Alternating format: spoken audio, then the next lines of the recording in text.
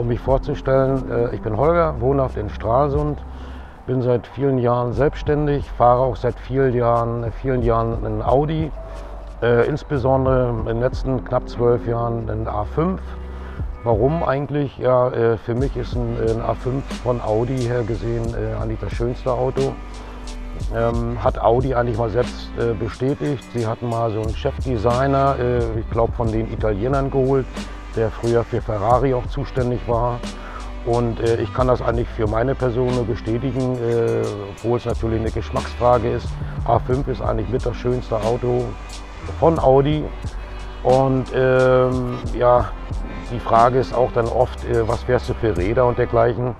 Äh, ich für meinen Teil äh, tatsächlich dann ähm, zu 100% Originalfelgen, weil doch die Auswahl ist entsprechend gut, äh, die man über Audi beziehen kann. Es gibt sicherlich auch äh, andere Originallieferanten und äh, das sollte dann schon passen. Ich finde, wenn man Audi fährt, dann sollte auch tatsächlich das Originalgeschirr, also sprich Originalräder drauf sein, Winter wie Sommers und ich bin da ganz zufrieden.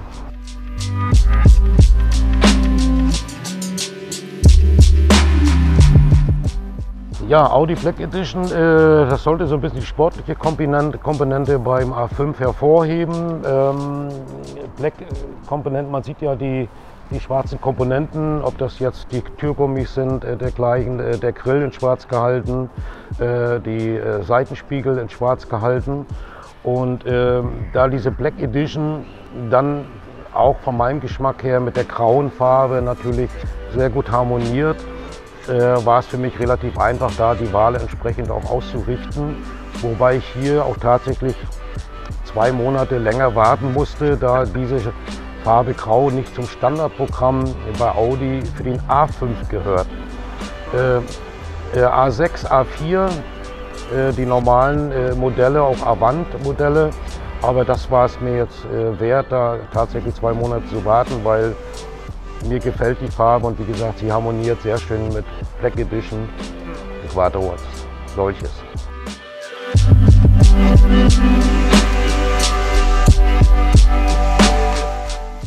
Ja, äh, natürlich habe ich die jetzt äh, direkt vom Hersteller bezogen, äh, bei Auslieferung äh, im Prinzip auch ranbasteln lassen. Aber äh, nachdem ich sie vorher ausgewählt habe, aber gar keine Frage, wenn es jetzt Audi Original Zubehör ist und man würde sie über die Messe beziehen oder über vielleicht auch hier im Ort ansässige Firmen, gar keine Frage, dass man darüber nachdenkt. Äh, Messen besuche ich weniger. Das naheliegende wäre Rostock, da ist auch immer, äh, ich glaube jährlich eine große Automesse. Da guckt man sich natürlich dann schon mal um. Gar keine Frage.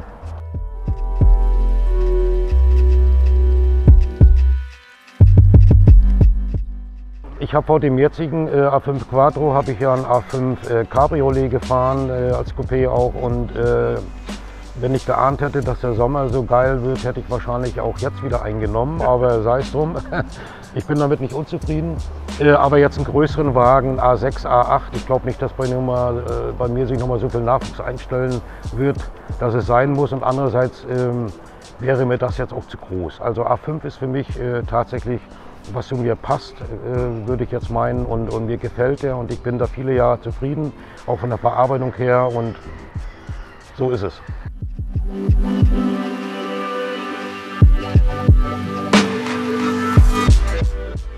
Ja, ich würde das natürlich immer äh, äh, begrüßen und auch denjenigen empfehlen.